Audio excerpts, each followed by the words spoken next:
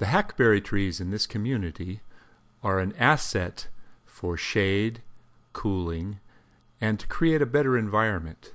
Unfortunately, there's a new problem that has come around called the hackberry aphid that is making these trees more of a nuisance. My name is Blair Glenn. I'm an ISA certified arborist. This is a fairly recent problem that has erupted just in the last few years. The leaves are covered with these little white insects. There's a little closer view. See if we can zoom in a little closer still. A little out of focus, but the tree is covered with thousands and thousands of these little sucking insects that cause the tree to drip. Now the problem is, if you park your car underneath one of these trees, it becomes a sticky mess. The road becomes sticky. You walk on the surface of the, of the asphalt and your shoes stick to the street. This was not a problem a few years ago. This is a problem that has erupted in the last three to five years. So what do you do about it? In constrained communities, external spraying of pesticides and toxins is often frowned upon, so it's a difficult thing to deal with in a conventional manner.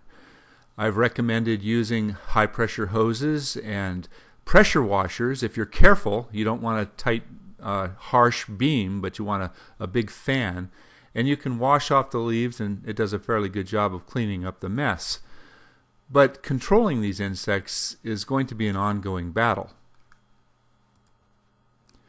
Some people have resorted to putting injections into the trees and allowing the tree to systemically try to control it. I have found that this is ineffective. If you go to the UC Davis website, you'll see that this is a procedure that actually causes harm to the trees.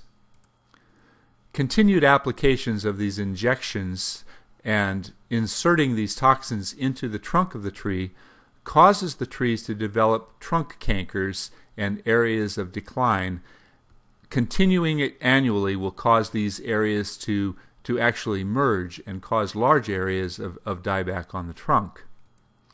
There is a close-up of last year's injection and you can see that it is cracking and there is some oozing. Somebody is identifying this so they put a little bit of white paint to uh, locate the, the most recent injections from last year's application.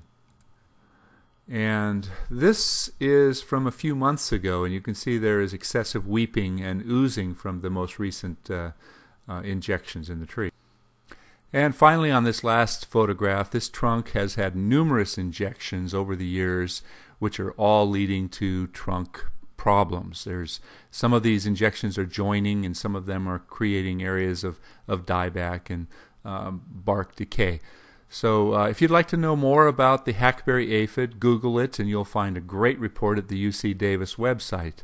Once again, my name is Blair Glenn. I'm an ISA certified arborist.